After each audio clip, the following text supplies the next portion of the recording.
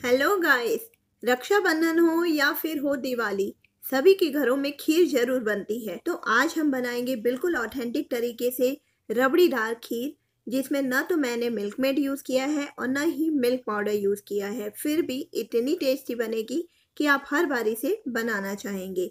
आप देख सकते हैं कितनी गाढ़ी बनी है। कोई मिल्क पाउडर कोई मिल्क मेड यूज़ नहीं किया है मैंने। बहुत आसान तरीका है और बहुत कम इंग्रेडिएंट मैंने इसमें यूज़ किए हैं। तो चलिए फिर बनाना स्टार्ट करते हैं। मैं हूँ एकता और आप देख रहे हैं कुकिंग लॉजिक चावल की खीर बनाने के लिए सबसे पहले हमें किस तरह के चावल लेने चाहिए वो हम देख लेते हैं। ये देखिए, एक इस तरह के आते हैं, बासमती खंडा और एक आते हैं बासमती टुकड़ा राइस, जो कि बहुत छोटे छोटे होते हैं। जब भी हमें खीर बनानी है तो छोटे चावल आप लें तो खीर बहुत अच्छी बनेगी, क्योंकि चावल अच्छे से पक जाते हैं और दूध के साथ अच्छे से घुलकर दूध को गाढ़ा भी करते हैं। तो आज हम इन्हीं टुकड़ा चावल से ही बनाएँगे खीर। अगर बासमती न हो टुकड़ा राइस तो भी कोई बात नहीं है, लेकिन चावल टुकड़े वाले ही ले तो बहुत अच्छी बनेगी खीर। फिर इसे दो से तीन बार अच्छी तरह धो लेते हैं और उसके बाद इसे पंद्रह से बीस मिनट के लिए भिगो कर रख देते हैं। भिगो कर रखना बहुत ज़रूरी है क्योंकि आप भिगो कर रखेंगे तो चावल वैसे ही थोड़े गल जाते हैं और जब हम इसे दूध में डालते हैं तो वो जल्दी पक जाते हैं और खीर जल्दी बन जाती है। यहाँ पर आधी छोटी कटोरी चावल लिए हैं मैंने, जो कि वज़न से 50 से 60 ग्राम के लगभग है। अब हम एक कढ़ाई ले लेते हैं और उसमें डाल लेते हैं दो से तीन चम्मच पानी। अगर हम कढ़ाई में थोड़ा सा पानी डाल लेते हैं तो दूध नीचे की तल्ले में चिपकता नहीं है और खीर हमारी जलती नहीं है। वैसे तो इसे चलाना ज़रूरी होता है। यहाँ पर मैंने मलाई वाला दूध लिया है। अगर आपको रबड़ीदार खीर बनानी है, बिल्कुल गाढ़ी बनानी है तो आप मलाई वाला दूध ही ले। भैंस का दूध भी ले सकते हैं, गाय का दूध भी ले सकते हैं। जो दूध आपके यहाँ आता, आप वो दूध ले लें। दूध जब गर्म हो जाए तो हम थोड़ा सा दूध एक कटोरी में निकाल लेते हैं। इसका क्या करना है, ये मैं बाद में आपको बताऊँगी। सबसे पहले हम दूध को बॉईल कर लेते हैं। जब एक बॉईल आता है तो उसके बाद जो चावल हमने लिए थे भिगोकर, उसे हम इसमें डाल लेते हैं। चावल का पानी पूरा निकाल लेना है, उसके बाद इसमें हम ऐड करते हैं। चम्मच से अगर हम देखें तो ये पाँच चम्मच भीगे हुए चावल हैं। घर वाली चम्मच है जो हम डेली में यूज़ करते हैं। अब हम इसे अच्छी तरह से मिला लेते हैं और इसे गाढ़ा कर लेते हैं। गैस की फ्लेम इस समय हाई पर होनी चाहिए। अगर हम इसे लगातार चला रहे हैं तो हाई पर भी हम इसे पका सकते हैं और अगर हम बीच बीच में नहीं चला रहे हैं तो इसे आप लो कर लीजिए और थोड़ी देर इसे 10 मिनट के करीब पकने दीजिए। जब दूध आधे से थोड़ा और कम हो जाएगा मतलब समझ लेना है कि दूध गाढ़ा हो चुका है। दूध को गाढ़ा होने देते हैं। हमने जो कटोरी में दूध लिया था, उसमें हम मिला लेते हैं थोड़ा सा केसर। केसर से बहुत अच्छा टेस्ट भी आता है और कलर भी आता है। अगर आप अच्छी क्वालिटी का केसर लेते हैं तो देखिए कलर कितनी जल्दी आ जाता है और गर्म दूध में और जल्दी कलर निखर कर आता है।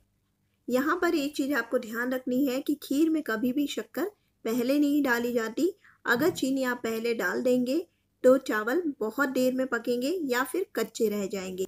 इसलिए चीनी हमेशा चावल के पकने के बाद ही डालें। खीर में ये भी बोला जाता है कि किशमिश नहीं डाली जाती। क्यों नहीं डाली जाती, ये तो मुझे भी नहीं पता है। अगर आपको पता है तो मुझे कमेंट में ज़रूर बताइए। चलिए, अब हम चावल को देख लेते हैं कि चावल पक गए हैं कि नहीं। थोड़े से चावल को आप हाथ से मैश कर कर देख लीजिए। ये देखिए, बहुत अच्छी तरह से पक चुके हैं। चावल अगर अच्छी तरह से पके होंगे, तभी खीर में स्वाद आएगा। इसलिए चावल का बहुत अच्छे से ध्यान रखना है हमें। अब हम छोटी कटोरी से पौना कटोरी चीनी डाल लेते हैं, जो कि एक लीटर दूध के लिए बिल्कुल परफेक्ट है। चम्मच से भी मैं आपको बता देती हूँ कि ये कितना है। चम्मच से देखें तो आठ चम्मच चीनी डाली है मैंने। अगर आप ज़्यादा पसंद करते हैं तो एक चम्मच और बढ़ा सकते हैं।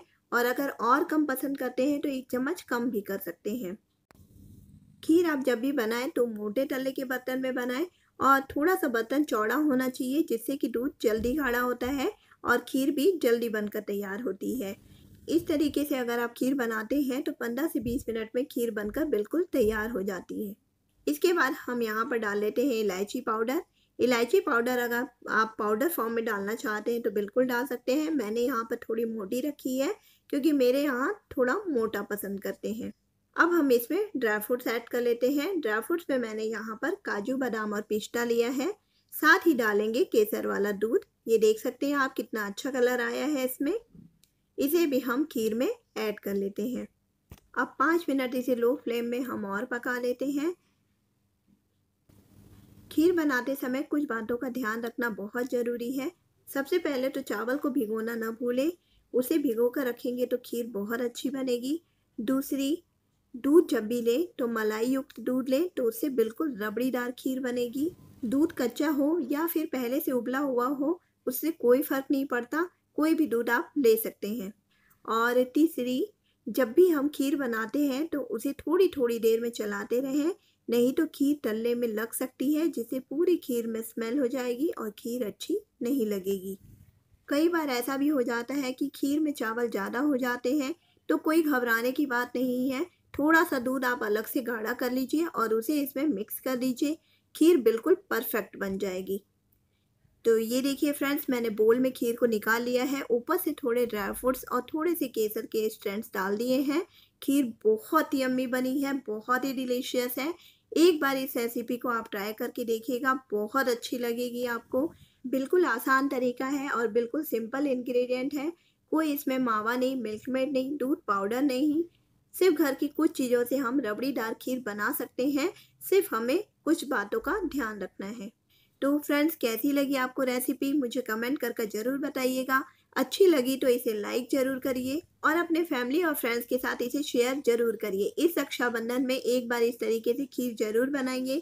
तो चलिए हम मिलते हैं अगले वीडियो में एक नई रेसिपी के साथ। तब तक के लिए bye bye and take care